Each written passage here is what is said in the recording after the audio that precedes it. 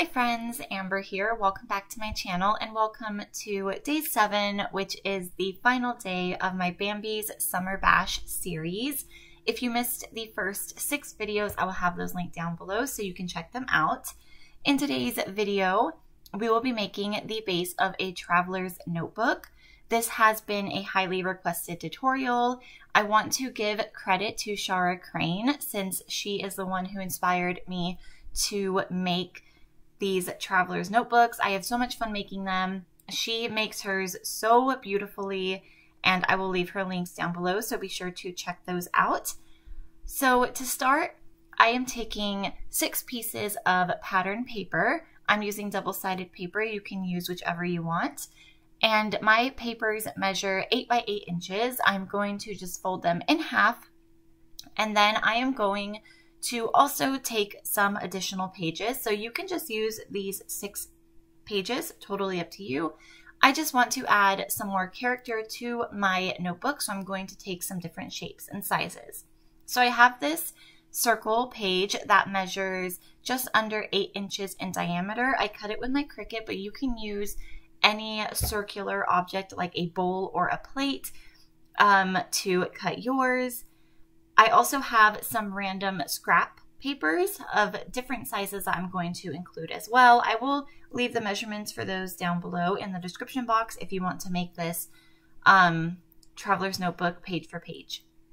So now I'm just going to add all of my pages together in the order that I want them to be in. So I'm just stacking all of my papers and then I'm just looking through it to make sure that this is how I want it to look in the end, making sure that everything is lined up nicely.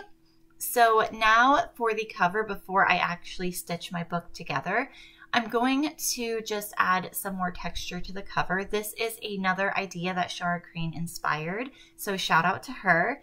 I love when she rips paper and then adds it to the cover of her projects. It looks so cool, um, for lack of a better word. I just love how it looks. So that is what I'm doing here. I did that on my previous tra uh, traveler's notebooks and I've done it on other projects as well and I just love how it looks.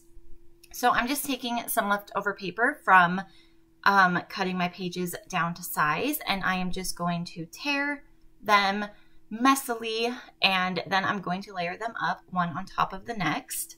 And then I am going to use some temporary adhesive, which is just a little glue stick um, and just I'm applying the tiniest amount because I don't want to gum up the needle on my sewing machine.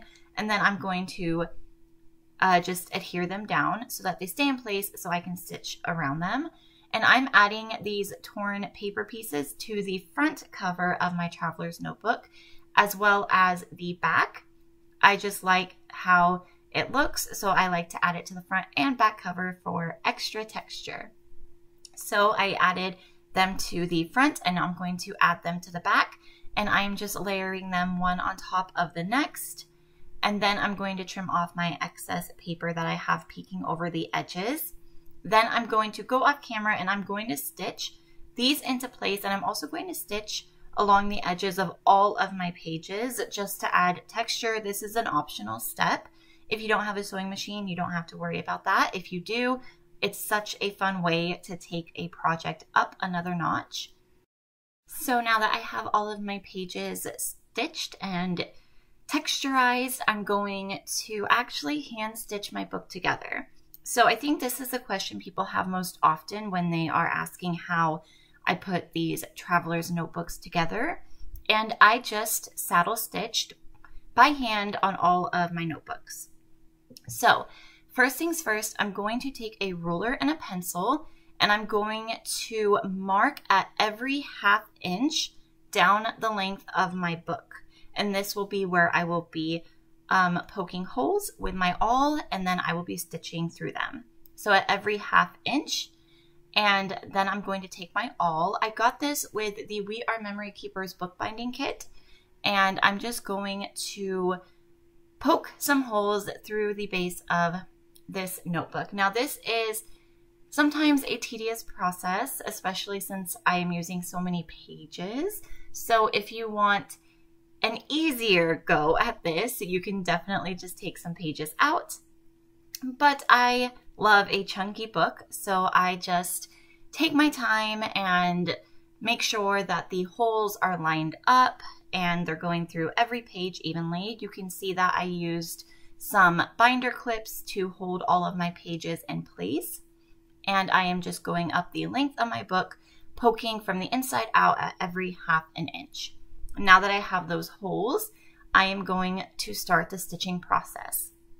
So I am going to thread my needle and then I'm going to start from the bottom hole in the inside and I'm going to go out and then I'm going to use some washi tape just to hold my little tail in place. My tail is about two and a half inches so that I can tie it off later.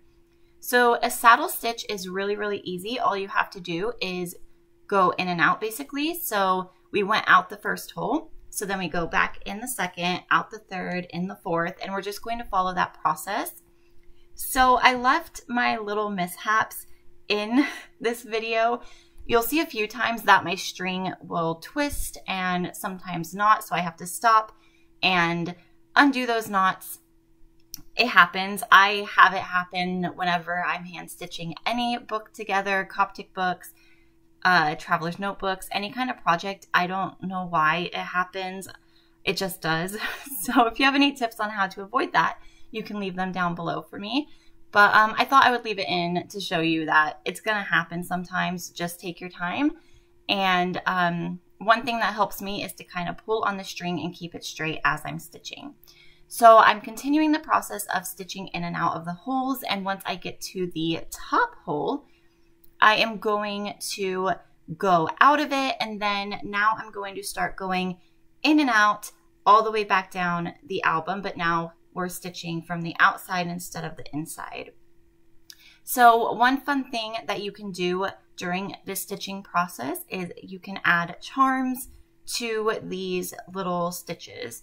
Um, I've done that before on a different notebook I made, but for this one, I just decided to leave it blank. I love using a saddle stitch for these traveler's notebooks because you can't really see the stitching since it's right on the spine. So I kind of like that the stitching is hidden. So I'm still continuing the in and out process. And once we get to the very last hole, we are going to go in and out twice so that we can actually seal the stitch and then tie off the string. So you'll see what I mean here. We're going in and then we're going to go out and then we're going to go back in. So super easy. And once you've done that, you just need to trim your string and then you are going to tie a double knot. I think I did a triple knot here. I always just like to make it extra secure. And then your album is together and you are ready to go and it's ready to be embellished. And it's super easy to put this together once you get the stitching technique down. So before I embellish the rest of my album, I am adding an eyelet to the top left corner of my cover. And then I am going to add some cute charms to the eyelet. So I have a little charm dangle I made over here.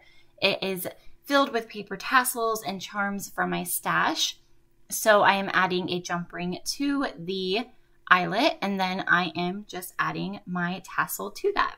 And here is a quick look at my finished traveler's notebook. You will see it is a chunky, chunky project, but I love how it turned out. I had so much fun working with this collection. So I added a big title on the front page. It says, This Sweet Beautiful Life, and I also added some hand stitching elements, and I will leave you guys here for the final flip through.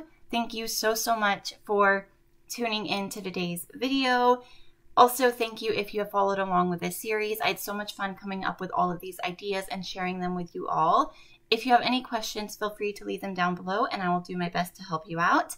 And until next time, I hope that you guys take care and have fun crafting. Bye.